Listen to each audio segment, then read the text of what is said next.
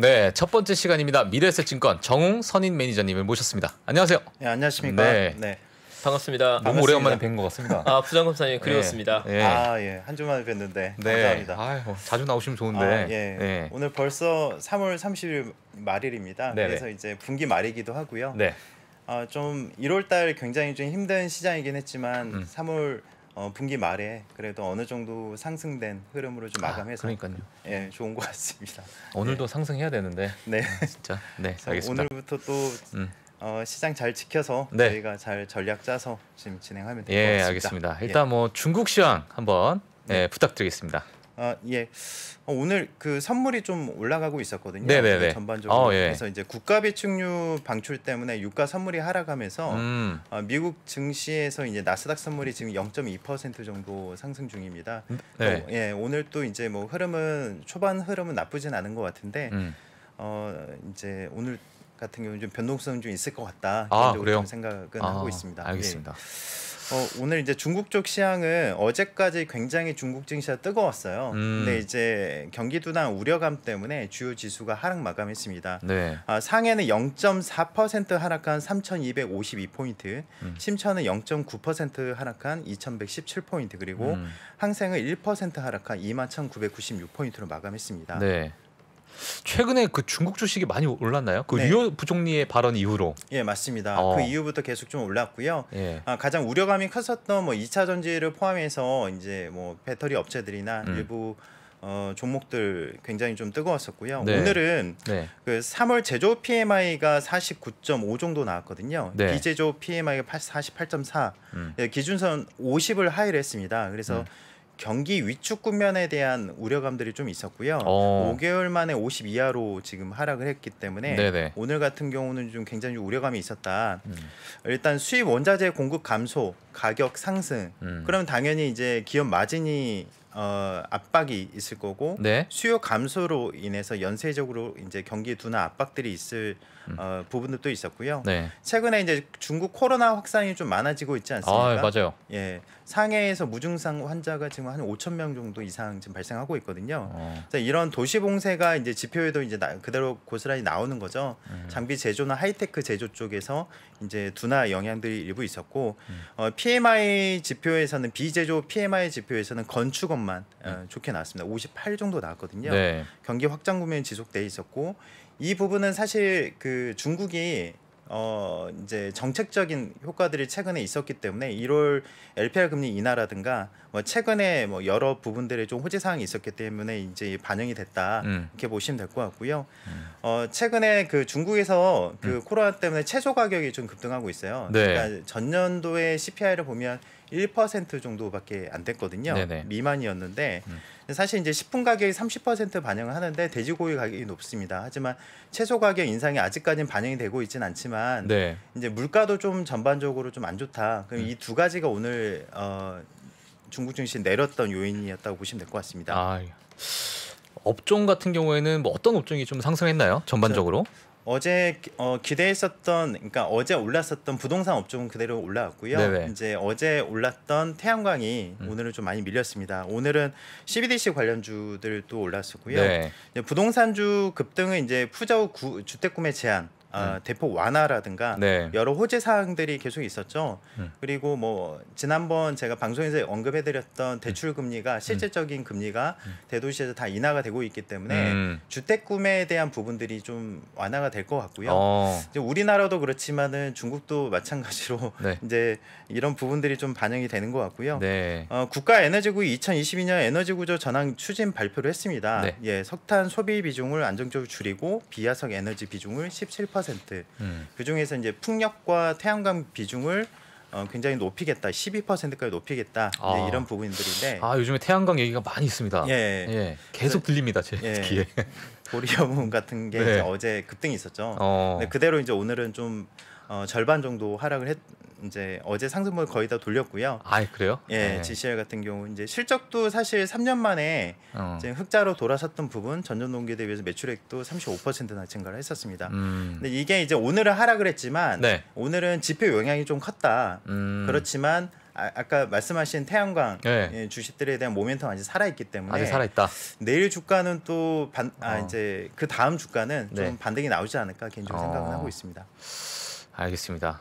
뭐 홍콩 시장도 뭐 간단하게 한번 보고. 갈까요? 예. 어제 이미 ADR에서 이제 주가 반영이 됐었는데 음. SEC가 이제 중국 기업 잠재적 상폐 리스트에 음. 어, 중국의 네이버, 바이두와 그리고 이제 바이두. 중국의 넷플릭스, 아이치 등을 추가적으로 올리면서 미중 회계 자료 공개 협의에 대한 불안감이 좀 어? 반영이 됐습니다. 아 이게 아직 지금 해결이 네. 안 되고 더 이제 우려가 되고 네, 있다. 오늘 시장 반응이 딱 그런 거였거든요. 어. 이거 끝난 거 아니었어? 그러니까요. 네. 저 지금 네. 어. 네, 다들 그런 심리에서 다 놀랬던 상황이었고 지난주부로 이제 이 부분들이 이제 아무래도 이제 월말 3월 29일이 어. 시한이었잖아요. 예. 끝난 거 아니었냐고 다들 이제 하는 상황이었는데 아니 사실 네. 제가 뉴스를 보면 이 SEC 기업 같은 경우에 그러니까 중국 쪽에서는 그러니까 우리가 이렇게 할 거야라고만 얘기를 했지. 사실 미국에서 이제 정확한 답변을 들은 얘기는 아니었던 것 같아요. 네네. 지금 생각해 보면. 근데 미국에서는 이제 다시 야 빨리 회계 감사 자료를 내라 막 이렇게 나오는 거고 네네 예, 맞습니다. 그런 상황이죠. 예. 네, 이게 이제 리스트에 계속 올라가면 올라갈수록 음. 이제 다른 이제 기업들에도 굉장히 영향이 있을 거고요. 음. 결국에는 상당수 기업들이 좀 포함될 가능성도 있다. 아. 근데 이제 예전보다는 주가 네. 측면에서 보면 반응이 별로 크진 않습니다. 어제도 바이두가 2.7% 하락에 그쳤거든요. 네. 그런 거 보면 예전에 유비의 목록이라든가 음. 이제 이런 3패 리스트라든가 이런 부분들은 시장에 그렇게 크게 작용하는 것 같지는 않고요. 음. 이제 장기적으로 계속 이제 발생한 이벤트 정도로 네. 이제 시장에서 좀 받아들이는 분위기입니다. 음, 알겠습니다. 자, 이 중국 주식이 참 어, SEC가 난이도가 있죠. 그러네요. 음. 어, 쉽지 않네요 이게. 네. 자, 미국 시황 한번 예, 부탁드리겠습니다. 어, 일단 최근 상승에 따른 이제 차익 실현, 그러니까 우크라이나 평화 협상에 대한 어려움들이 좀 많이 반영이 됐고요.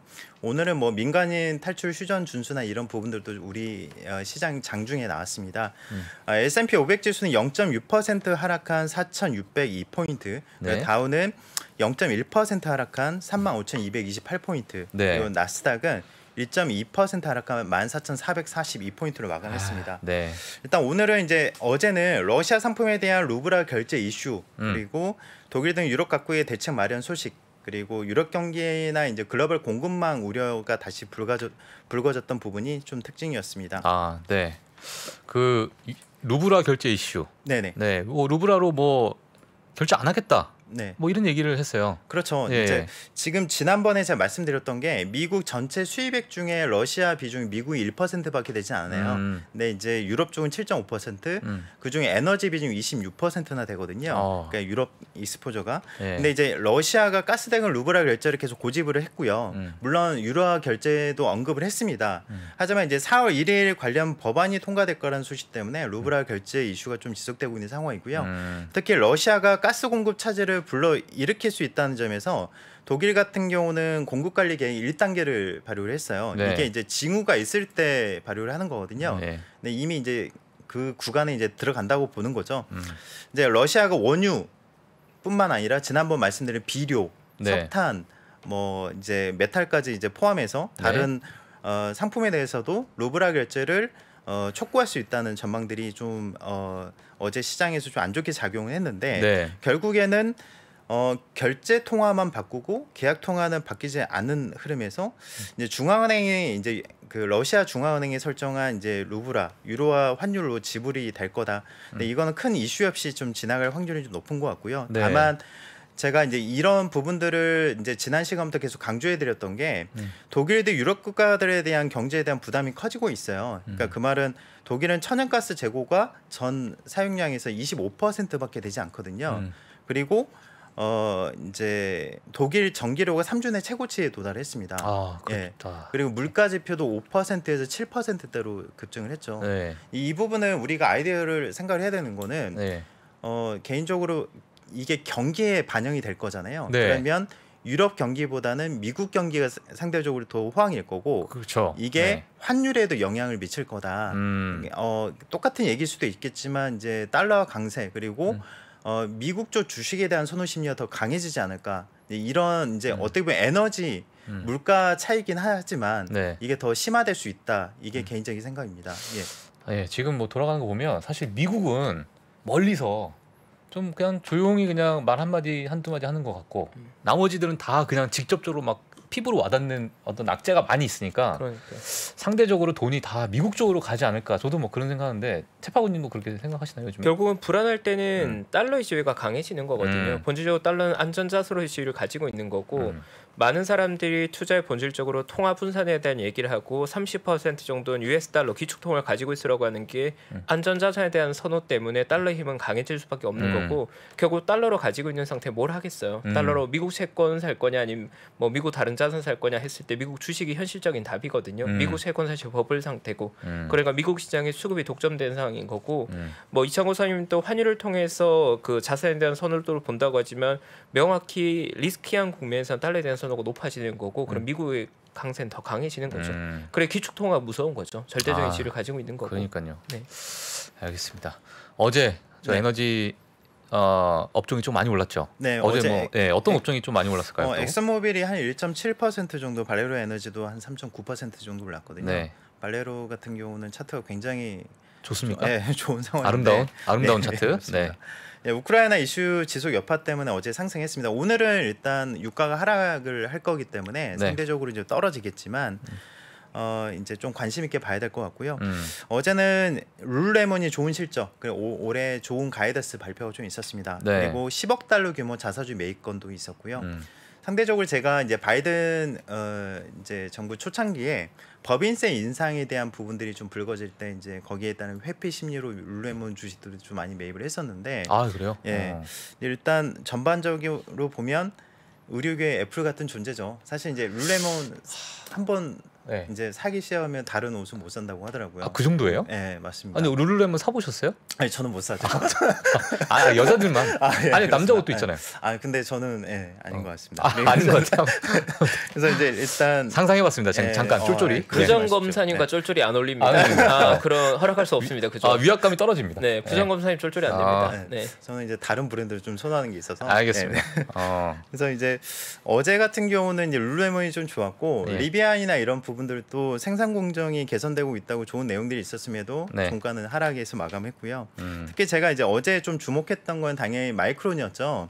마이크론이 이제 견고한 실적 향후 전망들이 계속 좋게 나왔는데 음. 제가 이제 사실 반도체 업종에 대한 거의 이제 너무 사랑을 하다시피 하니까 네. 이제 이 실적과 이제 앞으로 전망 추이를 굉장히 많이 좀 집중해서 봅니다. 어. 근데 이제 우크라이나 사태로 이제 PC 산업이 위축될 수 있다. 네. 뭐 이런 내용들이 이제 어제 이제 IB 쪽에서 나오면서 음. 이제 결과적으로는 시간외 4% 상승을 했지만 이제 하락 마감을 했어요. 근데 아. 이제 네.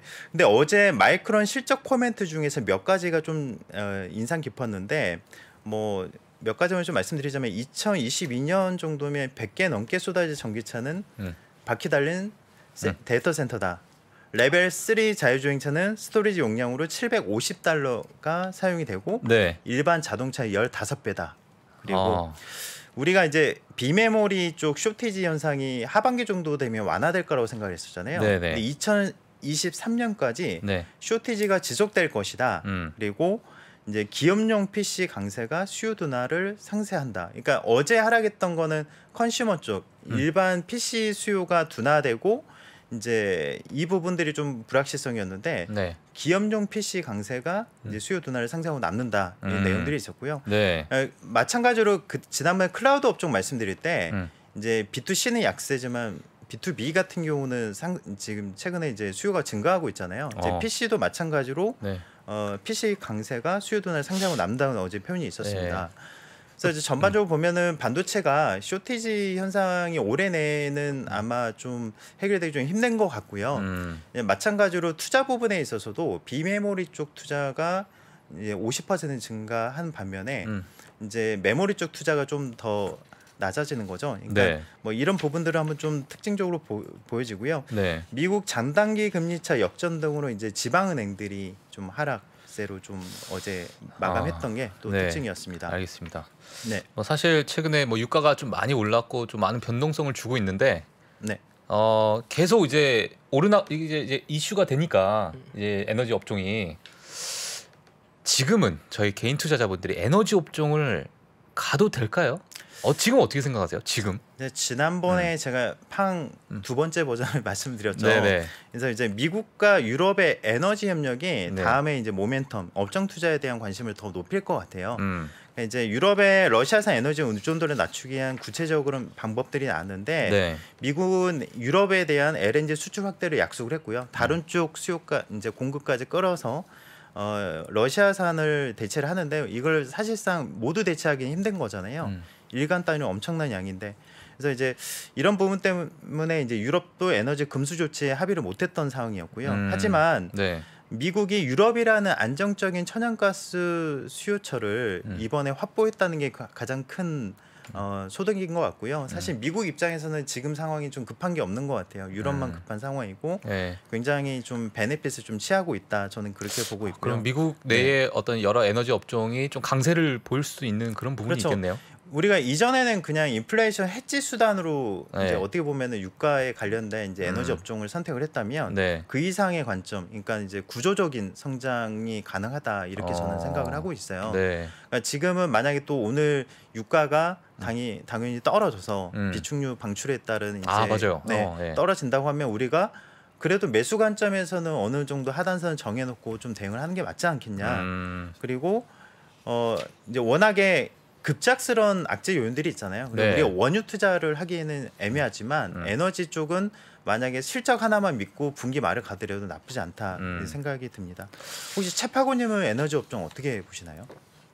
저는 사실 기업을 굳이 나누면 성장주가 있고 음. 그리고 시클리컬 그러니까 순환주가 있는데 저희 입장에서 에너지는 사실 어, top과 bottom의 갭이 굉장히 큰 변동성이 큰 자산이라서 음. 사실 그렇게 선호하지는 않고요. 특히 요즘처럼 유가에서 그 주가 변동성이 많이 커져 있는 국면에서는 비싸지기 전에 포지션을 좀 줄이는 형태로 대응을 하고 있고 음. 공격적으로 늘리기에는 저는 아, 조금 그냥? 난이도가 있다고 느껴지네요. 어. 그리고 특히나 에너지 업종에 의외로 음. 그 에너지 업종에 좀 전문화된 specialist들이 굉장히 많이 포진해 있는 업종이거든요. 네. 그래서 유가나 아니면 각각의 섹터에 대한 이해도가 높은 플레이어들이 많은 쪽이라서 아. 저 같은 좀 비전문가 어. 평범한 투자자들이 접근하기 좀 난이도 있게 아. 느껴지죠. 네. 비전문가는 박살나는 곳이다. 조심스럽죠. 아, 네, 아이. 업앤다운의 변동성이 굉장히 거대합니다. 예. 네. 저는 뭐 근처도 가면 안 되겠네요. 편안한 투자라고 하면 네. 사실 이제 우리가 가장 그래서 성장주를 선호하는 것처럼 아 성장주. 네. 네. 이제 이제 자산 배분 측면에서의 일부 분산 투자에서는 음. 그래도 하락권에서는 관심이 있게는 봐야 된다. 네. 그리고 이제 채파고님 말씀대로 음. 이제 변동성이 큰 자산에 대해서는 음. 좀 주의가 좀 필요하다. 네, 예, 그럼 성장주에 좀 집중을 하는 네. 게 좋다. 네. 좀 편하다.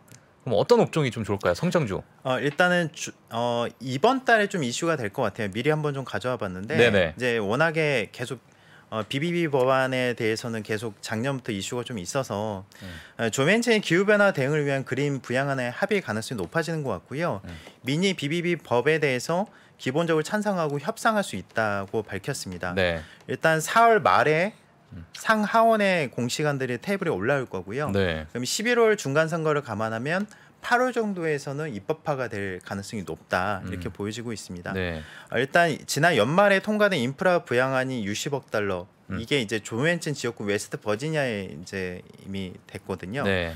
수소 허브 지정을 위한 세주 20억 달러 추가가 됐기 때문에 음. 이제 많이 베네핏 취했죠. 그래서 음. 이제 그린 부양안의 합의 가능성이 지금 더 어느 때보다 높아지고 있다. 특히나 어, 각국마다 지금 에너지 자립에 대한 니즈가 높아지고 있잖아요. 음. 우리도 원전을 재개했듯이 네. 어, 효율이 좋은 어, 에너지원에 대한 수요가 늘어날 거고요. 네. 그래서 이제 약 5천억 달러 정도의 그린 부양안이 음. 어, 일부 화석연료 예산 동시 좀 포함돼서 이제 실행이 될 거고 네. 우리가 이제 그 10년 동안 풍력과 태양광 세액 공제나 클린카 보조금이라든가 여러 가지가 있는데 음. 과거 트럼프 때 음. 전통 산업에 대한 이제 어떻게 보면은 집중도가 좀 컸었잖아요. 그래도 풍력과 태양광 시장이 동의 없이 상승했던 이유가 음. 어 2015년에 오바마가 이미 법안을 5년 세액 공제를 만들었었거든요. 어. 그러면은 정권이 바뀌거나 네. 아니면 갑자기 투자 환경이 바, 그쵸. 바뀌어서 어. 뭐 이게 뭐 차질이 있거나 이런다고 하면 이 계획이 바뀔 수도 있는 거지만 음, 이 계획이 한번 법안이 예산 집행이 시작이 되면 음.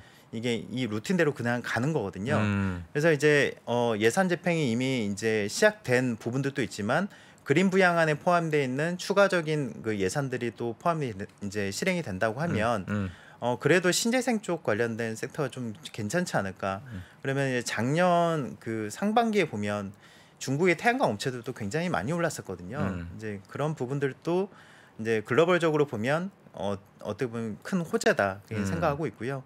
이제 신재생 쪽 같은 경우는 섹터가 최근에 이제 2차 전지도 핫한데 채파고님은 또 어떻게 보시나요? 뭐 그린 에너지나 친환경 네. 테만 사실 기존의 에너지 업종이라고 분류하기에는 또 다른 영역인 것 같고요. 음. 우리가 보통 에너지 업종의 기존이라고 하면 기존 뭐 화석연료 베이스 에너지 갭들을 말하는 것 같고 사실 그린 에너지 친환경이라는 건 메가 트렌드라고 보고 있고 음. 화석연료 대비해서 친환경 에너지 지금 이전율이 10% 수준이거든요. 10분의 1 정도 수준인데 그 미만인데 장기적으로 봤을 땐 결국 화석연료보다 친환경 에너지가 더 커질 거라고 보고 있기 음. 때문에 여기서 10배 정도의 규모는 커지겠죠 마켓은. 아, 10배 이상. 네, 근데 어. 거기에서 이제 승자가 누가 될지 기업을 픽하는 건 별도의 문제겠지만 음. 산업으로만 봤을 때는 그린 에너지 여- 지금부터 10배 이상의 성장은 나올 만한 산업이다. 당연히 어? 관심 가져야 된다. 어, 너무 좋은데? 네. 그린 에너지 10배 이상? 네. 네. 그래서 태양광은 사실 중국이 너무 주도하고 있기 때문에 네. 과연 이제 미국 쪽에서 어떻게 이거를 기업들을 키워 나갈지도 관전 포인트인 것 같아요. 네. 알겠습니다. 어 일단은 저희가 이제 뭐 반등했던 그런 부분도 좀 있고요. 예. 네. 그래서 어 좀 봐야 될 것 같은데 이 PC가 네. 이제 좀좀 있으면 발표가 되잖아요. 네, 네. 이게 가장 이제 중요하다고 사실 많은 분들이 보고 있는 또 인플레이션에 관련돼서 또 보고 있는데 뭐 어떻게 볼까요? 뭐 네, 이제 일단 PC 지표 같은 경우 개인 소비 지출 같은 경우 연준이 개인 소비 핵심 지표로 보는 지표입니다. 네. 아, 일단 최근에 미국 소비자들의 강한 상품 소비 성향이 있었잖아요. 네. 뭐 서비스 수요에서도 그렇지만 여행, 외식 등 폭발적인 수요가 좀 있었고 음. 이제 사실 5월 FMC의 금리 인상에 영향을 줄 걸로 줄 거라고 좀 보고 있거든요. 네네. 1월 지표는 6.1% 정도에서 이제 지금 2월 지표 음. 이제 앞으로의 지표들도 좀 폭발적일 것 같고요. 네. 근데 이게 시장에서는 약간 양분되는 것 같아요. 이게 이 지표가 좀 잘 나오면 긴축에 대한 자신감으로 이제 baby step이 아니라 어, 이제 big step. big step으로 가는 거 아니냐. 네. 두 번째는 최근에 또 가르, 다른 관점에서 봐야 되는 게 뭐냐면 최근에 조정이 올 때 긴축이 우려가 음. 그렇게 크게 시장에 작용했나요? 그것보다는 오히려 장단기 금리 차 역전이 더 리세션이 더 컸잖아요. 네. 경기 침체죠. 음. 근데 만약에 이게 지표가 좀 좋게 나온다면 음. 그 경기 침체에 대한 부분을 조금 어, 해소시킨다. 해소시킨다는 음. 개념에서도 보면 음. 과연 시장에 맞게 대응을 한다고 치면 우리가 이 지표가 잘 나왔다고 해서 고용 지표도 그렇지만 음. 과연 이게 그 예전 개념을 1, 2월 달이라고 하면 네. 조정이 빌미가 됐었죠. 네네. 근데 지금은 또 다른 국면이다 이렇게 음. 좀 보여집니다. 예. 네. 사실 그 인플레이션 관련해서 조금이라도 좋아지면 시장에서 난리가 날 것 같아요. 음. 저는 그러니까 뭐 이제 최파고님이 좀 싫어하시는 너무 과도한 이제 호재에 번쩍번쩍 뛰는 그런 시장이 될 것 같은데 뭐 지켜봐야겠습니다. 예, 뭐 제가 뭐 잘 알지 못하니까. 네, 알겠습니다. 네, 어, 벌써 또 시간이 네, 이렇게 됐네요. 어, 지금까지 어, 시황 해주신 저희 정웅 선임 매니저님 어제 사실 그 네. 최파고님 토론 보셨나요? 아, 못 보셨죠? 예, 뭐 그렇습니다. 오늘 가실 때 보시면 아마 재미있으실 것 같습니다. 네, 너무 감사합니다. 네, 네, 다음에 뵙, 내일 뵙 내일이죠. 예, 네, 내일 내일 뵙겠습니다. 네, 예. 감사합니다. 감사합니다. 네. 감사합니다. 네, 저희 2부에 김경화 위원님 또 최근에 고민거리를 많이 던져준 중국 시장 준비하고 계시고요. 음. 빠르게 광고 보고 와서 2부 이어가겠습니다. 네. 김한진, 박세희, 김동환 이 세 명의 투자 경력은 도합 100년입니다. 갈피를 못 잡으시는 투자자들을 위해서 어려운 시장에서 살아남아 본 경험이 있는 전문가 3명의 이야기를 꼭꼭 눌러 담았습니다. 이 3명은 어떻게 시대 변화에 적응했고 생존할 수 있었을까요? 각자의 경험담과 대응 원칙 그리고 방법론을 담았습니다. 변화와 생존에서 3명의 이야기를 들어보세요.